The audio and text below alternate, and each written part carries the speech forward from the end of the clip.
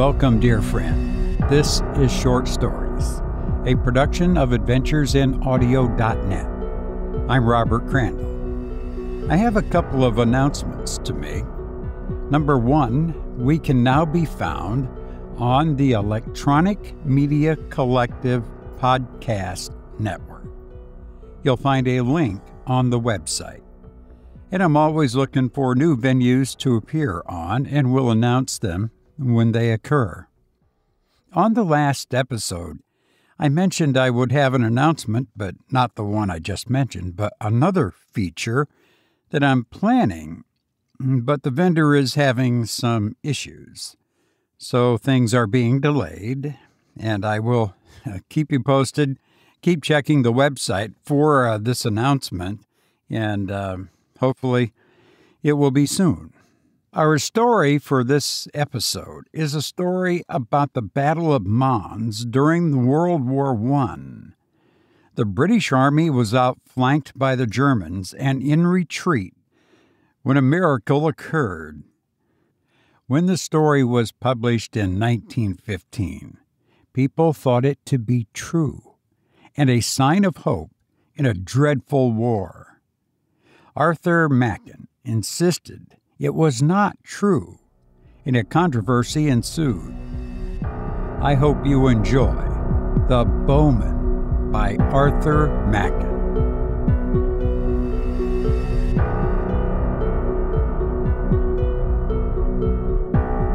It was during the retreat of the 80,000, and the authority of the censorship is sufficient excuse for not being more explicit. But it was on the most awful day of that awful time, on the day when ruin and disaster came so near that their shadow fell over London far away. And without any certain news, the hearts of men failed within them and grew faint as if the agony of the army in the battlefield had entered into their souls. On this dreadful day, then, when 300,000 men in arms with all their artillery swelled like a flood against the English company, there was one point above all other points in our battle line that was for a time in awful danger, not merely of defeat, but of utter annihilation. With the permission of the censorship and of the military expert, this corner may perhaps be described as a salient. And if this angle were crushed and broken, then the English force as a whole would be shattered. The Allied left would be turned, and Sedan would inevitably follow. All the morning the German guns had thundered and shrieked against this corner, and against the thousand or so of men who held it. The men joked at the shells and found funny names for them, and had bets about them, and greeted them with scraps of music hall songs. But the shells came on and burst and tore good Englishmen limb from limb, and tore brother from brother. And as the heat of the day increased, so did the fury of that terrific cannonade. There was no help, it seemed. The English artillery was good, but there was not nearly enough of it, and it was being steadily battered into scrap iron. There comes a moment in a storm at sea when people say to one another, It is at its worst. It can blow no harder. And then there is a blast ten hmm. times more fierce than any before it. So it was in these British trenches.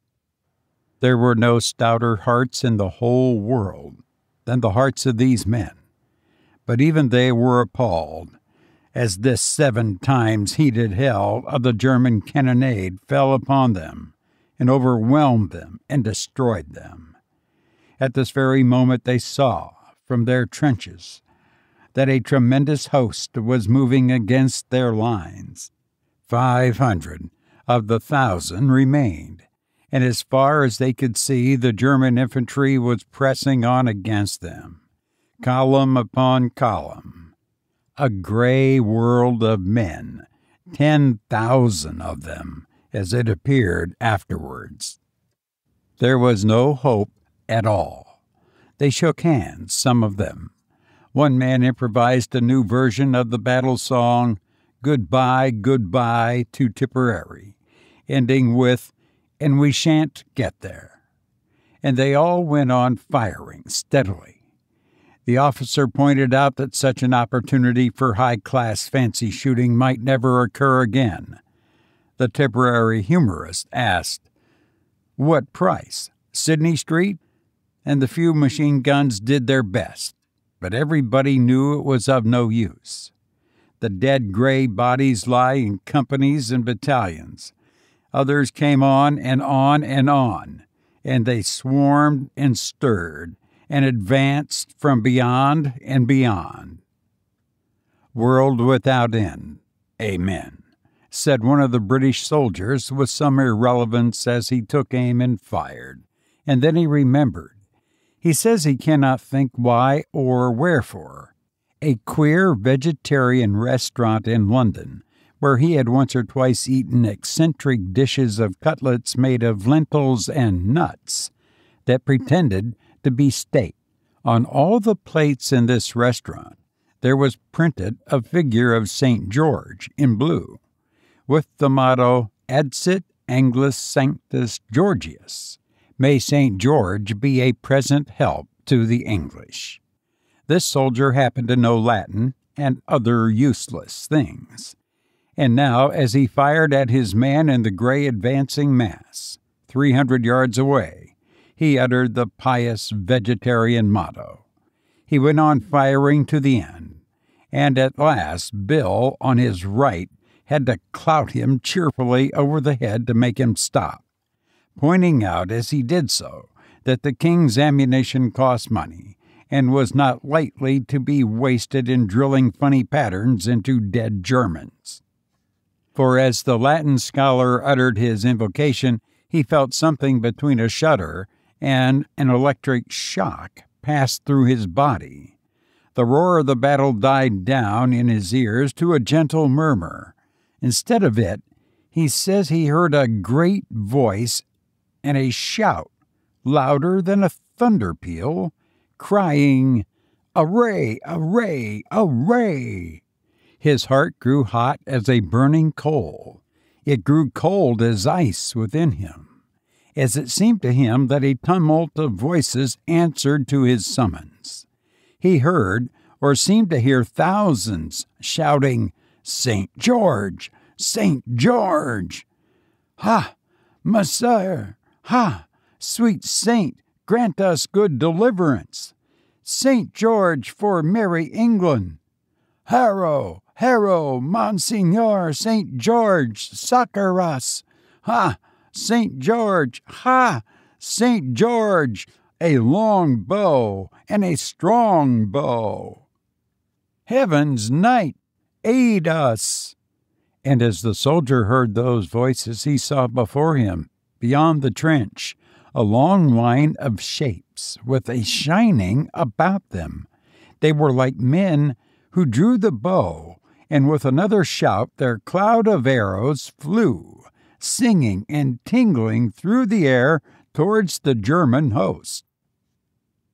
The other men in the trench were firing all the while. They had no hope, but they aimed just as if they had been shooting at Bisley. Suddenly, one of them lifted up his voice in the plainest English. God help us! he bellowed to the man next to him. But we're blooming marvels! Look at those gray gentlemen! Look at them! Do you see them? They're not going down in dozens nor in hundreds. It's thousands.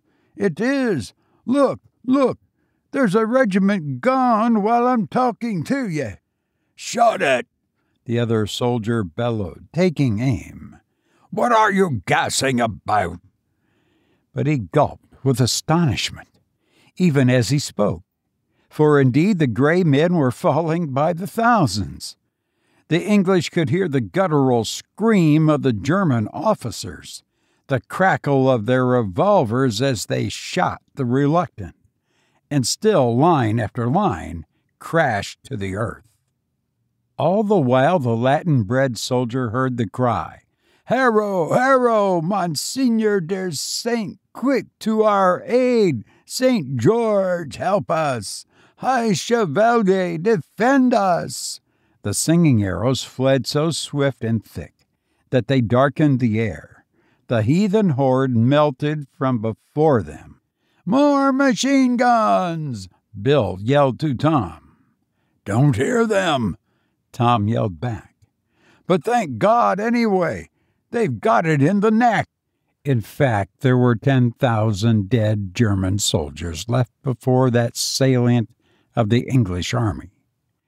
And consequently, there was no Sedan. In Germany, a country ruled by scientific principles, the great general staff decided that the contemptible English must have employed shells containing an unknown gas of a poisonous nature as no wounds were discernible on the bodies of the dead German soldiers. But the man who knew what nuts tasted like when they called themselves steak knew also that St. George had brought his Agincourt bowmen to help the English.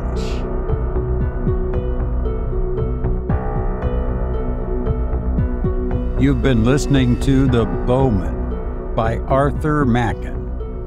Carl Sandburg once said, Time is the coin of your life. It is the only coin you have, and only you can determine how it will be spent. Be careful lest you let other people spend it for you. I've enjoyed being with you, but now I must go. I hope to be with you again soon. Please take care and thank you for listening to me.